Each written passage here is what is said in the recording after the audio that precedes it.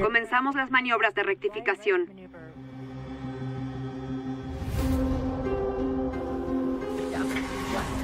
Los controles confirman que el paracaídas se desplegó.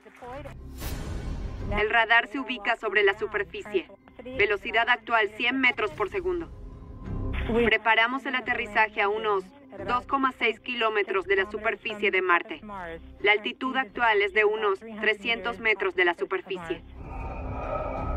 Comenzó la maniobra de Skycrane. A 20 metros del suelo. Luego de viajar casi 500 millones de kilómetros, la nave espacial Perseverance de la NASA llegó a su destino. Marte. Tango Delta. Descenso confirmado. Perseverance llegó a la superficie de Marte. El 18 de febrero el vehículo descendió justo en el objetivo, el cráter Jezero, capturado por primera vez por múltiples cámaras. Podemos ver que levanta unas pequeñas volutas de polvo. Estas imágenes nos sumergen en el proceso de esta exploración. El equipo científico y el mundo esperan durante siete largos minutos la señal de confirmación. Es como montar una montaña rusa. Es muy similar.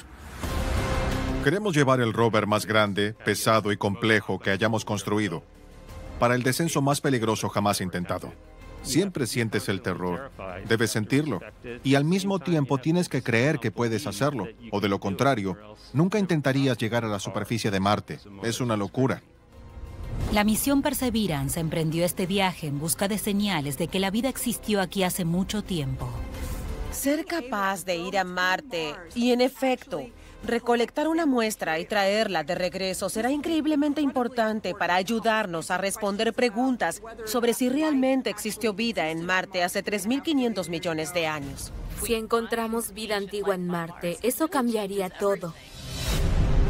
Breakthrough, Mars Perseverance. La casa comienza.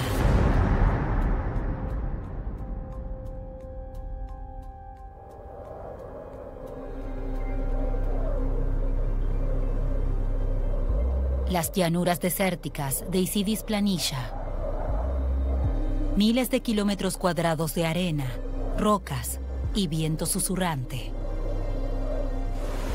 El recuerdo de un vasto lago acecha esta región, sumida en un silencio imperturbable durante millones de años. 4. Encendido del motor. 2. 1. 0. Y despegue. El rover Perseverance comenzó su viaje el 20 de julio de 2020 a bordo de un cohete Atlas. Mach 1. Atlas 5 es supersónico. Lograr ese lanzamiento fue fortuito. Lo lanzamos en el momento óptimo en que la Tierra y Marte logran que ese viaje sea lo más corto posible. Las órbitas de la Tierra y Marte son elípticas y rara vez están alineadas. La Tierra está más cerca del Sol y Marte tarda casi dos años terrestres en hacer un circuito completo. Los astrónomos llaman oposición al momento de mayor acercamiento entre los dos planetas. Ese es el momento para ir de un planeta a otro. Estas ventanas ocurren cada dos años. Con el Perseverance aprovechamos la oportunidad y será un viaje de siete meses a Marte. Perseverance no es el primer rover en explorar Marte. Hubo cuatro misiones anteriores que enviaron datos e imágenes asombrosos a la Tierra. Todo el mundo conoce la historia de cómo aterrizamos en la Luna y aquellos primeros pasos, pero mucha gente no entiende que hubo precursores robóticos de esas misiones Apolo, que fueron clave para llevar tecnologías a Marte y mejorar aquellas tecnologías que son importantes para la futura exploración humana. La primera fue la misión Pathfinder. Aterrizó cubierta de airbags en 1997. Es un rover, Sojourner. Lleva el nombre del abolicionista de la guerra civil, Sojourner Truth. Su misión era demostrar que podemos enviar exploradores robóticos a Marte de forma segura. Esta primera misión rover duró 83 días. Los siguientes fueron los vehículos gemelos Spirit y Opportunity. Estos geólogos robóticos hacen un descubrimiento sorprendente. Hay minerales que se forman solo en presencia de agua. Los titulares captan la atención del mundo. Marte fue una vez un planeta con agua, como la Tierra. Curiosity, el rover más grande, llegó a Marte en 2012 y todavía está explorando el cráter de Gale en busca de evidencia de vida microbiana. Hoy Marte es un mundo desértico, frío y seco. Un paisaje completamente desolado de polvo, arena y espectaculares formaciones rocosas. Pero, si miramos hacia atrás, Marte alguna vez fue más cálido, húmedo y hasta tuvo lagos y ríos como los que vemos hoy en la superficie de la Tierra. Los ingredientes clave para la vida son el agua, la luz solar y ciertos compuestos orgánicos como el carbono, el hidrógeno y el nitrógeno. La revelación sobre el agua marciana da nueva credibilidad a viejas preguntas. Antes de Spirit y Opportunity, el mantra era sigue el agua. Y fuimos más allá de eso. Ahora, en lugar de seguir el agua, intentamos entender cuál era la química del agua. ¿Esa agua podría haber dado lugar a la vida? ¿Por qué cambió tanto el ambiente en Marte que una vez tuvo agua líquida y ahora ya no la tiene? Y Perseverance puede ayudar a responder estas preguntas siempre que la zona de llegada, cuidadosamente elegida, haya albergado agua tiempo atrás. Elegimos el lugar de aterrizaje para que esté en el borde occidental de la cuenca de Isidis Planisha y elegimos un lugar que se llama Cráter Jezero, que alguna vez, cuando Marte era más cálido y húmedo, albergó un lago, un ambiente muy diferente al que veremos cuando aterricemos hoy. Este antiguo lecho del lago tiene el mismo tamaño que el lago Tahoe en California. Es un excelente lugar para buscar posible vida marciana, porque ya sabemos que Jezero tiene rocas y minerales que solo podrían formarse en el agua. El sitio del cráter Jezero, si lo miras desde el espacio, es un delta. Creemos que Marte era habitable hace unos 4.000 millones de años. La pregunta no es solo dónde estaba la vida en Marte, sino también dónde podría preservarse por 4 mil millones de años más para que la encontremos. En la Tierra, los lagos están llenos de criaturas vivientes. La evidencia de esa vida se conserva en el lodo y la arena, depositados en el fondo del lago. ¿Podría suceder lo mismo en Marte? Los instrumentos del rover examinarán de cerca las antiguas rocas del lago desaparecido. Como ensayo, el lecho de un lago seco en el Valle de la Muerte y el estudio geológico en Australia, lugares que comparten una extraña similitud con la historia geológica marciana. Una de las cosas más emocionantes sobre las rocas que exploraremos en Marte es que se remontan a un periodo en el que tenemos la primera evidencia de vida fósil en la Tierra, hace unos 3.500 millones de años. Esa es la edad de las rocas que tendremos a nuestro alcance en Jezero. Aquí es donde el equipo científico examina la geología y prueba sus instrumentos. Esto es piedra arenisca, no muy diferente a lo que podríamos encontrar en Jezero. Queremos tomar muestras de una roca como esta para entender lo que cada grano de arena tiene para decirnos sobre Marte y su evolución. Pero primero, el rover tiene que llegar allí. Cuando Perseverance hace su aproximación final, comienza la parte más peligrosa de la misión. EDA o entrada, descenso y aterrizaje. Lo más emocionante de llegar a Marte es la secuencia de aterrizaje. Se dice que la atmósfera de Marte es demasiado delgada para ser útil, pero demasiado espesa para ignorarla. Es decir, calienta la nave espacial por fricción, pero no la ralentiza. La nave espacial y su caparazón protector entran en la atmósfera marciana e intentan aterrizar en una sola pieza.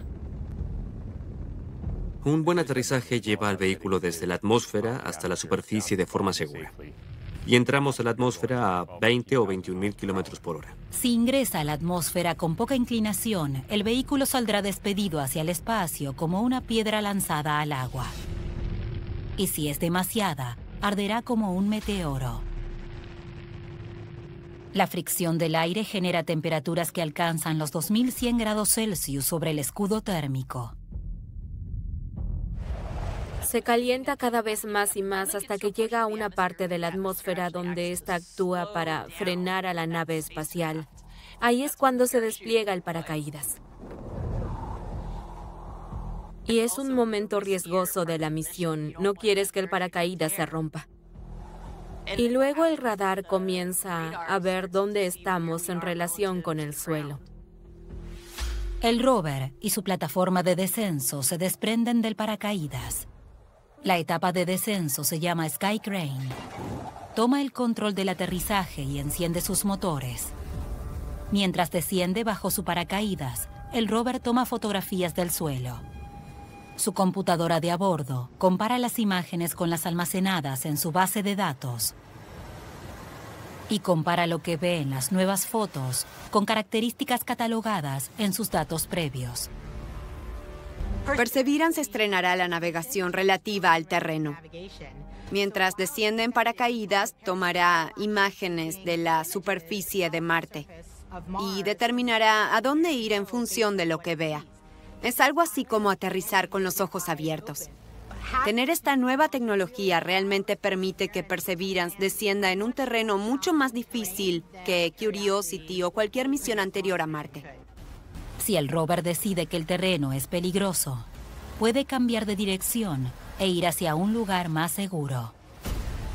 Esta vez Perseverance lleva una cámara fotográfica, pero también una especie de segundo cerebro para ayudarlo a entender esas imágenes y relacionarlas con un mapa de un satélite. Eso le permite saber exactamente dónde está. Luego puede volar a lugares seguros que sean cercanos. Aquí seguro, Bravo.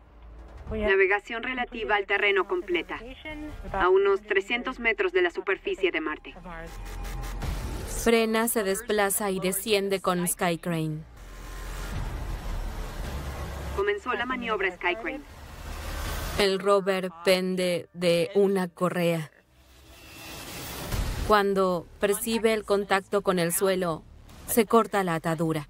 La plataforma de descenso se aleja y el rover cae. No debería estar más de un metro y llega a la superficie suavemente. Tango Delta. Descenso confirmado. Perseverance está a salvo en el suelo de Marte. Buscará signos de vidas pasadas. Durante unos minutos, la nave espacial no podrá comunicarse con la Tierra. Tendremos un periodo en el que todo habrá sucedido en Marte. El rover habrá aterrizado o se habrá estrellado y no lo sabremos hasta que vuelva esa señal. Esos minutos de apagón mientras se espera a ver qué sucedió con la nave espacial son de los más emocionantes. Para el equipo de científicos, compuesto por cientos de personas, más de una década de trabajo se reduce a siete minutos de espera. Muchas cosas tienen que salir bien en una misión espacial para llegar a Marte. Tratamos de llevar al rover más grande, pesado y complejo que hayamos construido al lugar más peligroso jamás visto. Es muy difícil descender allí. Hay rocas al este. Sería muy malo si descendiéramos sobre esas rocas. Las rocas, los cráteres y los acantilados, todas estas cosas son peligrosas para el rover, pero también despierta el interés de los científicos. Lo que hacemos es cruzar los dedos, esperar lo mejor y animar al equipo que está a cargo. Perseverance posee una batería de siete instrumentos y 23 cámaras que abordan preguntas sobre la vida en el pasado, el presente y el futuro. Hasta ahora, todas las comprobaciones de los instrumentos fueron un éxito.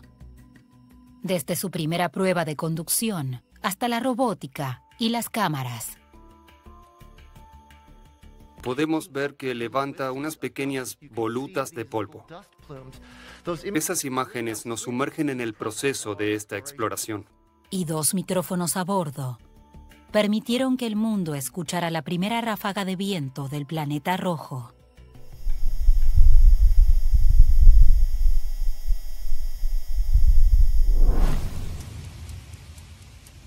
El rover identificará elementos químicos en el suelo marciano así como orgánicos y minerales que pueden ser signos de vida microbiana pasada.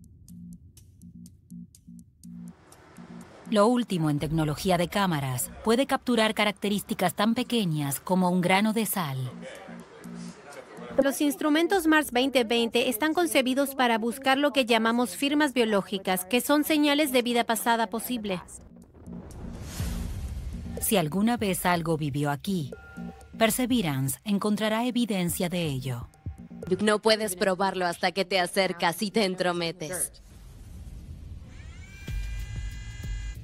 Un taladro comparte la torreta con los instrumentos científicos. Este perfora y extrae muestras. Es un sistema que nos permite tomar eh, muestras del núcleo de material rocoso de la superficie de Marte, sellarlas cuidadosamente y colocarlas en recipientes estériles para un eventual regreso a la Tierra. Una vez que se recolecta la muestra, Perseverance la almacena en una cámara giratoria ubicada dentro. Se llama caja de muestras y tiene espacio para 47 tubos vacíos. Aquí, las muestras se sellan herméticamente. Ningún contaminante del rover entrará en los tubos y nada escapará de ellos. Y en una misión, estos tubos de recolección serán los más limpios jamás enviados al espacio para garantizar que los microbios que regresen sean marcianos y no de la Tierra. Lo último que quieren hacer los científicos de la NASA es contaminar Marte. Y en algún momento en el futuro, se elegirá un sitio donde se guardarán las muestras. Se convertirá en un depósito. Perseverance pasará el resto de su misión llevando tubos de muestras al depósito. Una misión futura las recogerá y las traerá a la Tierra. Perseverance es parte de una misión de retorno de muestras. Creo que podemos aprender mucho, haya o no vida, sobre la evolución de nuestro sistema solar, sobre nuestro planeta, mirando en profundidad las rocas traídas de Marte.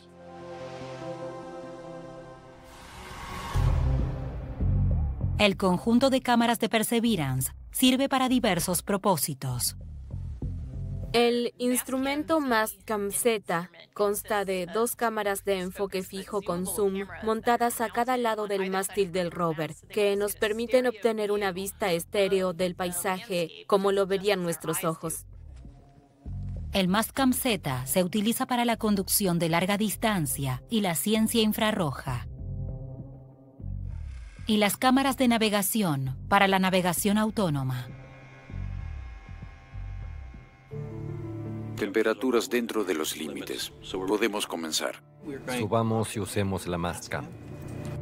Las cámaras funcionan de la misma manera que los ojos humanos, dándonos una vista estereoscópica del paisaje. Mastcam Z es como nuestros ojos en Marte en términos de reconocimiento y evaluación del terreno. La Mastcam Z se utiliza para elegir objetivos, para ver más de cerca y tener una idea del terreno que rodea al rover. Sin embargo, lo especial de las cámaras Mastcam es que, además de captar luz invisible, captan los rangos de longitud de onda cercanos al infrarrojo. Y eso nos permite obtener una imagen de cómo la química y la mineralogía cambian en las rocas. El gran equipo de cámaras del rover no son los únicos ojos de la misión.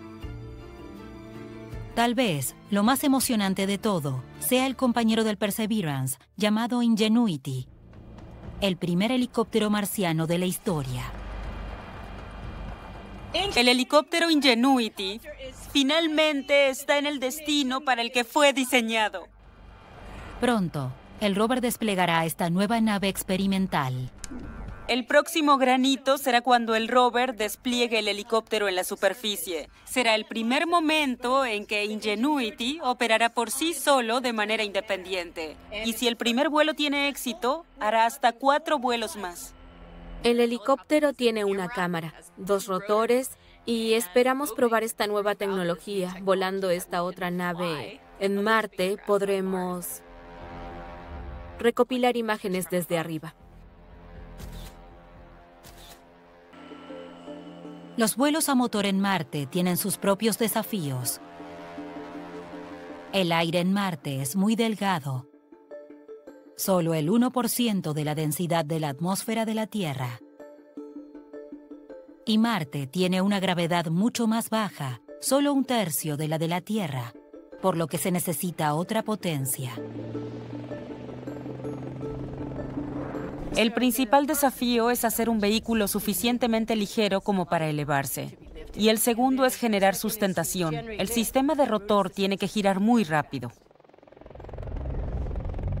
También verán que las aspas son mucho más largas y su configuración es diferente. Se debe a que para aprovechar la cantidad mínima de sustentación que proporciona la atmósfera de Marte, debe tener un tamaño de aspa más grande que la que tendría en la Tierra. Contamos con 30 días marcianos.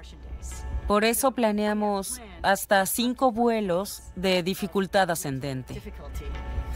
Los vuelos se harán a una altura de entre 3 y 5 metros. Iremos horizontalmente a muy baja velocidad. Nuestra prioridad será obtener telemetría de ingeniería y no tanto imágenes, pero sospecho que obtendremos algunas y se verán geniales. Pero hay un desafío más. Sin asistencia humana y con un retraso en la comunicación, Ingenuity tendrá que volar de forma autónoma. Ingenuity explorará delante del rover y con suerte demostrará que el vuelo propulsado es posible en otro planeta. Sería increíble y genial y abriría un nuevo tipo de reconocimiento. Además, poder volar nos permitirá llegar a lugares a los que no podemos llegar con rovers y astronautas, como acantilados escarpados, grietas profundas, áreas de gran interés científico. Será un gran cambio. El rover no solo ve como un ojo humano, está diseñado para probar nuevas herramientas para la futura exploración humana. Montado en el cuerpo del rover, se encuentra el experimento de utilización de recursos in situ de oxígeno de Marte, o MOXIE. MOXIE sintetizará oxígeno de la atmósfera marciana para crear un gas que los humanos del futuro puedan respirar en la superficie. Con MOXIE probaremos esta tecnología. La atmósfera marciana tiene un 96% de dióxido de carbono. MOXIE es una prueba para ver si podemos procesar el aire marciano para producir oxígeno líquido para combustible de cohetes y para respirar. Es una estrategia de exploración con visión de futuro. Si fabricamos algunos suministros in situ, en lugar de traer todo desde la Tierra, podríamos reducir el costo de una misión humana a Marte, allanando su camino en el futuro. Pero Moxie no es la única pieza de ingeniería de Perseverance. El rover tiene una estación meteorológica que realizará un seguimiento del viento, la humedad, los niveles de polvo y la temperatura. Al estudiar las formas en que el polvo y el hielo interactúan con la radiación solar, la estación meteorológica analizará condiciones que ayudarán a predecir el clima en Marte.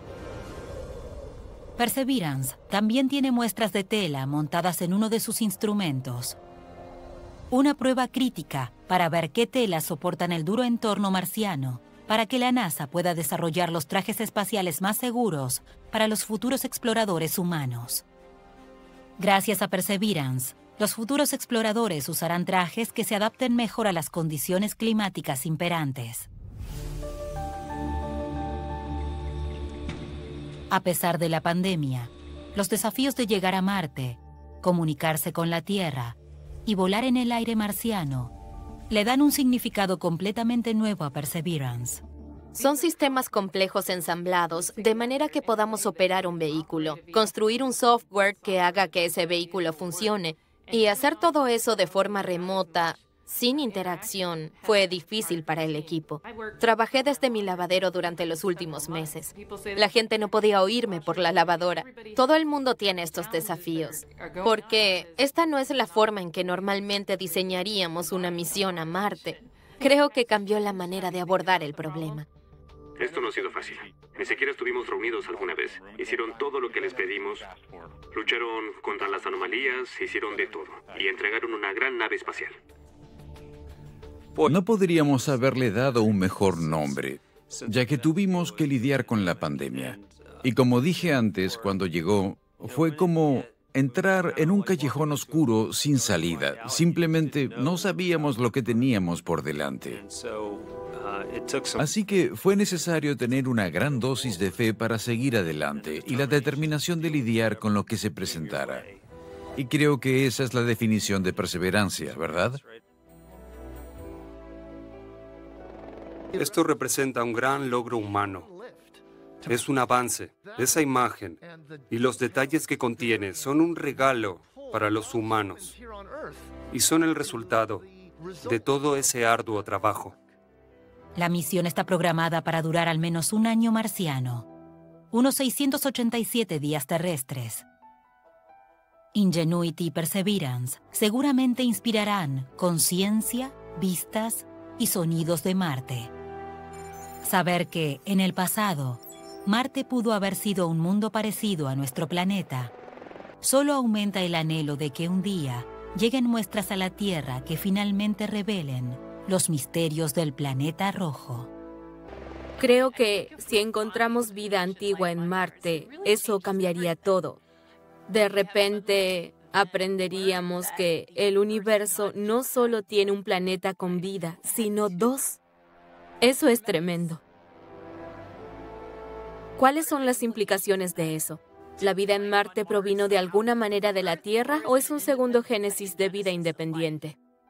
¿Estamos solos? No lo creo, puede que no. Hay muchas estrellas y planetas, pero encontrar vida en Marte sería uno de los primeros pasos para comprender realmente cuánta vida hay allí, en nuestro universo.